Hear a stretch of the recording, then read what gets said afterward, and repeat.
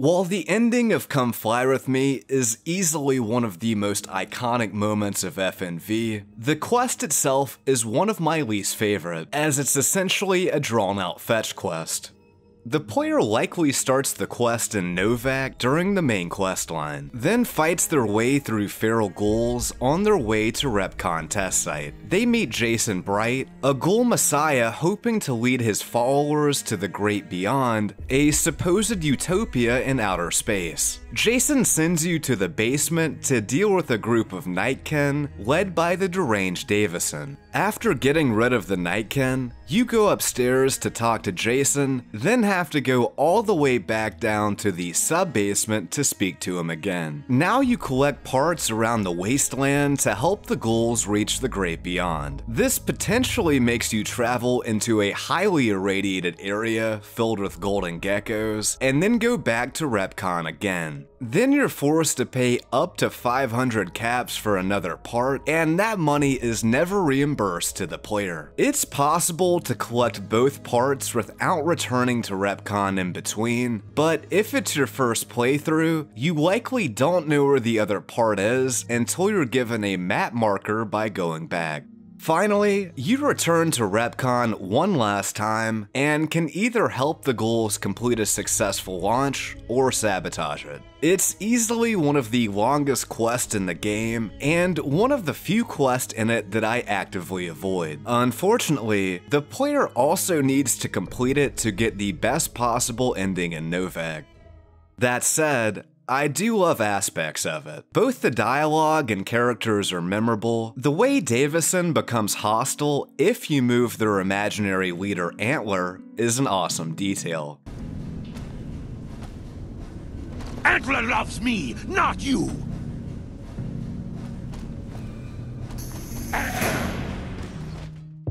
The fact that Chris Haversam believes he's a ghoul because he's going bald is hilarious. Just the premise of a crazed cult of ghouls flying into outer space for salvation is totally ridiculous and perfectly represents the goofy side of the series. It's worth noting these issues were partially due to Obsidian's inexperience using Bethesda's engine. Project director Josh Sawyer revealed that Come Fly With Me was the first major quest implemented in New Vegas. Trivia, that was the first major quest we wrote, and Novac slash Repconn test site slash Clark Field slash Ranger Station Charlie slash Gibson Scrapyard was the first region we built. I wouldn't say it's one of the top quests of FNV, but it is literally the first major quest we designed, so our inexperience with the engine shows.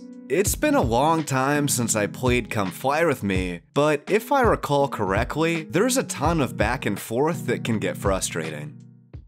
And of course, there's also some interesting cut content as well. There's unused armor called Repconn Jumpsuit, it's unknown why it was cut since the armor was finished. It likely would have been worn by the long dead pre-war Repconn employees found throughout the building. There's a cut option to start the quest by talking with Jeannie May Crawford and Novac. The player could ask her, what are they doing? And she'd reply, I don't know what they're up to, and I don't want to know. I just hope no harm comes to Novac. Not much to live off of around here except salvage from that factory. If they made off with anything expensive, we'd be hurting something fierce. But I will say this, if all of them turned up dead tomorrow, I couldn't see as to how they'd be missed. That might even be a desirable thing, knowing the town was safe from the likes of them. There'd be a reward in it, if some brave soul made it happen. There's also a cut dialogue option to tell her the ghouls are dead. After choosing this dialogue, the player would receive 150 experience and positive reputation in Novac. That is a load off. Nothing to be done, though. Those ghouls just didn't know when they weren't wanted. Couldn't take a hint. And aren't you just the most unexpected gift our little town ever had? Here, take this, and go buy yourself something nice.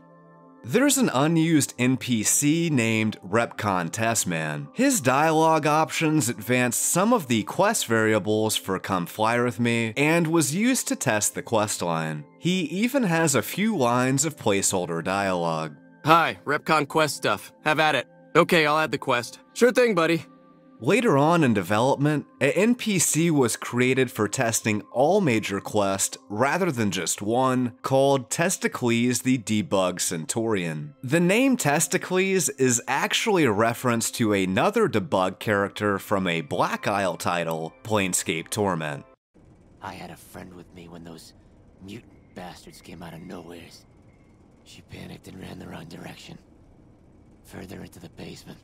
She's probably dead. But I ain't leaving until I know for sure.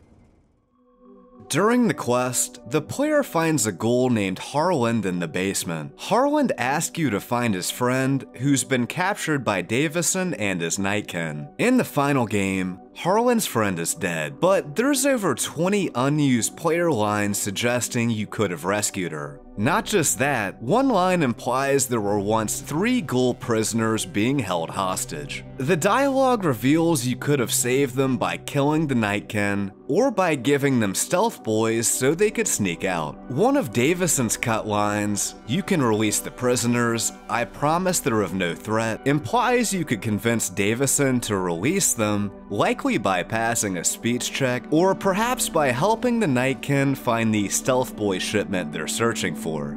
Optionally, you could just kill the hostages after saying, No, I just wanted to come down here to kill you up close.